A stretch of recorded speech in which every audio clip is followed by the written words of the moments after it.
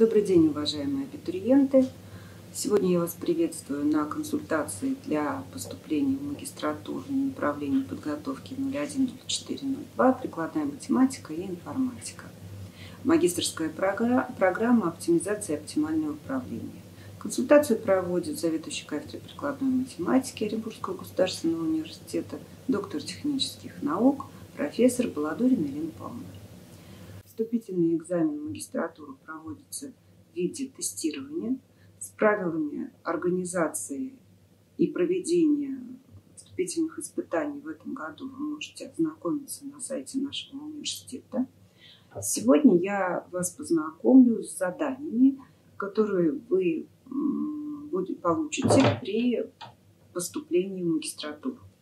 Тестовые задания сформированы по следующим базовым дисциплинам. Алгебра, математический анализ, дифференциальное уравнение, комбинаторика, теория вероятности, программирование и математическое моделирование. А, по каждой дисциплине тестовые задания относятся к следующим разделам.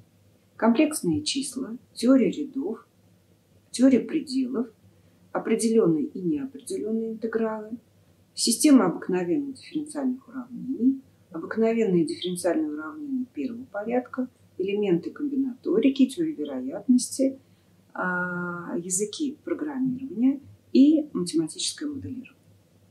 А, далее мы познакомимся с примерными тестовыми заданиями по названным дисциплинам. А, к дисциплине алгебра мы отнесли раздел комплексные числа. И типичная задача, которую вам придется решать, а, представлена на слайде. На рисунке представлена геометрическая иллюстрация комплексного числа. Тогда тригонометрическая форма записи этого числа имеет вид. Вам будут предложены 5 ответов. Для того, чтобы не загромождать слайд, я привела только правильный ответ на слайде. Далее, далее раздел «Математический анализ» включает несколько э, типов задач. Это теория рядов, примерные задания приведены на слайде.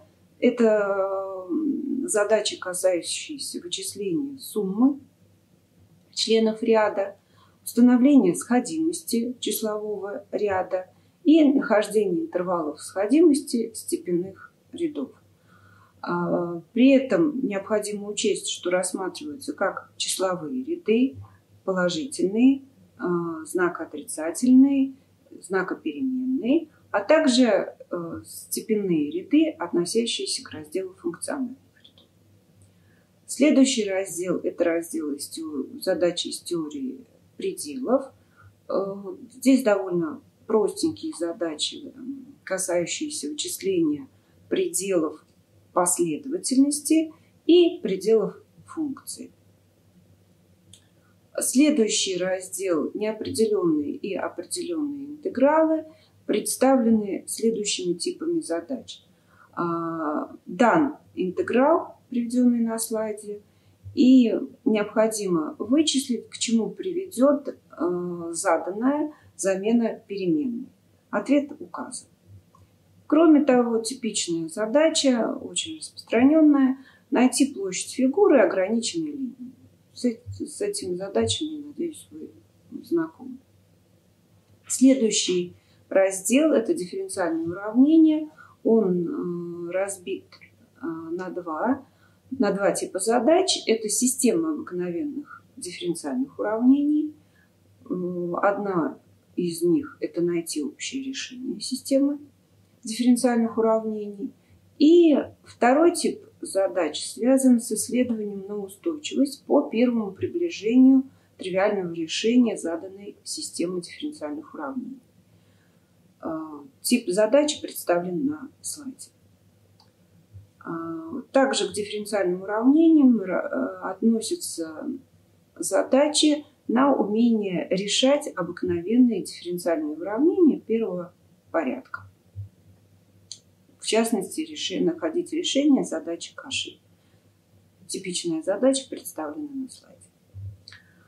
Далее, э, комбинаторику мы включили э, задачи, примерно вот такого вот вида. Число разбиений множества, состоящего из 10 различных элементов на 3 подмножества, содержащих, соответственно, 2, 3 и 5 элементов, равно. И нужно будет выбрать правильный ответ. И другой тип задачи. Даны две концентрические окружности радиусов 4 см и 5 см. Найти вероятность попадания точки в малый круг при бросании ее в большой круг. Из теории вероятности э, приведены э, вот такие вот задачи. Э, ну, например, вероятность того, что статья будет опубликована в журнале А равна одному числу, в журнале Б другому числу, необходимо найти вероятность публикации статьи хотя бы в одном из журналов. Второй тип задач. Необходимо знать, а, как из генеральной совокупности извлекается выборка и как распределяется объем выборки. Следующая задача характеризует знание функций плотности распределения различных случайных величин. А, дисциплина программирования в основном представлена э, теоретическими вопросами. Процесс, например, процесс восприятия исходной программы на заданном языке и ее исполнения называется и предложены варианты ответов. Также есть вопрос, какое из следующих утверждений об приведенном операторе является верным. И требуется, в третьем вопросе требуется знать некоторые особенности функции языка C++. И последний раздел – это математическое моделирование, тоже представлено теоретическими вопросами с вариантами ответов. Э, например, необходимо знать определение детерминированной модели, это первый вопрос. Другой вопрос – установить равновесие между простотой модели и качеством отображения объекта. Э, как эта э, процедура называется? Ну безусловно, правильный ответ. Собственно, сейчас я рассмотрела все основные типы задач, которые будут вам предложены при вступительном испытании. На этом консультация закончена. Я вам желаю удачи. И надеюсь на то, что мы с вами обязательно встретимся в учебном году. Всего хорошего, спасибо за внимание.